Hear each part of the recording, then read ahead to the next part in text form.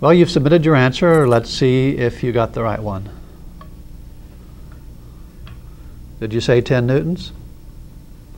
This surprises a lot of people, but let's find out why it makes sense. Think back to the situation that I showed you when we first started looking at the scale. I was holding the scale vertically and I had a 10 newton bottle of sand on it. Here's the 10 newton bottle of sand.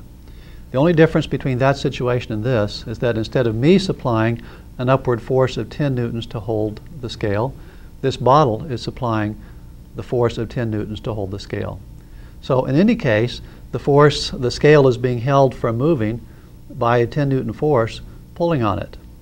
So we have the 10 newton weight that we're measuring, and we have the 10 newton force the other direction, which is holding the scale stationary, and so the reading should be 10 newtons in either case.